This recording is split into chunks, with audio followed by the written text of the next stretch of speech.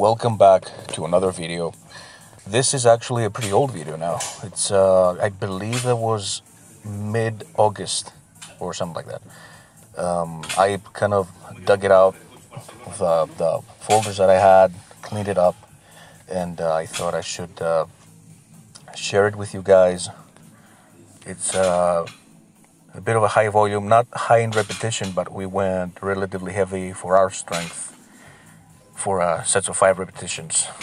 and uh, I ended up doing uh, something I haven't done in many, many years, uh, in the conventional stance, of course, because I've been pulling sumo for so long. And uh, Vagelis did pretty well also. So here we got 100 for a few repetitions.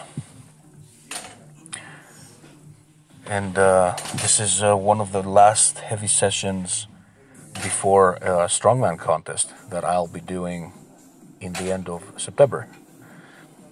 This will be 25th and 26th of September. I think it, it's Circus Strongman uh, event, something like that.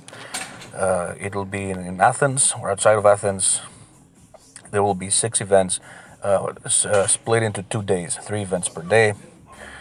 And uh, so this is right before I fixed the fat bar, if I remember well, the axle bar that I made and uh, here he's got 110 kilograms here's got 120 as you can see this sumo the it's it's coming along the he, he's shoving his hips forward.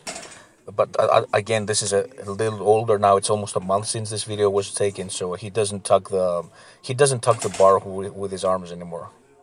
And I've noticed, and I told him, and he knows that you know the first the first rep. I said you, you usually tuck the bar, and then the third and the second, the third rep always look better. But this is always the case with people because as you descend and you put the bar down, you reset and you know what you already did wrong, so you try to fix it. You know, it, it happens with everybody. And uh, we worked hard all summer. It was this summer. That's my third summer back in uh, in Greece, and uh, it wasn't any easier. It was really, really hot you know, the, the temperature inside the gym was stupid. I mean, if it was 45 degrees outside, uh, Celsius, of course, it was probably 40 or more inside the gym. And that was uh, brutal. I noticed that my deadlifts and, and overhead presses didn't suffer much, but that's maybe it's just individual. Maybe to others, uh, you know, the deadlift suffered. But I noticed my squat went down a lot. Like I couldn't squat heavy to save my life. It was just not working and uh, my bench went down a little bit, but I haven't been uh, focusing on my bench as much since I'll be doing the strongman contest. Uh, here he's got 140 kilos. I did 180. I, I think I pulled it for a I pulled it for a single because I wanted to move on to the the heavier sets. See here, 150 kilograms. That's it's getting smoother, and, and right now, like guaranteed, he's pulling even better. And that's uh, that's my goal as uh, as his training partner and as his, his coach in, in so many ways. I I'm, I want him to, to lift better, and of course, the better the technique, the more you know, the more output, and the more weight you can lift. You lift properly, you can lift heavier. Well, it makes sense. And uh, so that's his uh, final set